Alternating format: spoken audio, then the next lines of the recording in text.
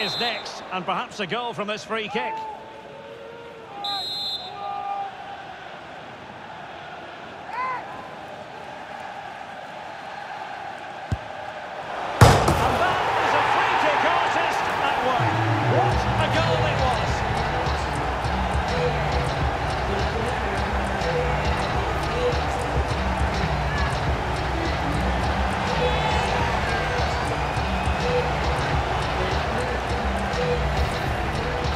Well, let's look at this again because it gets better and better each time you see it.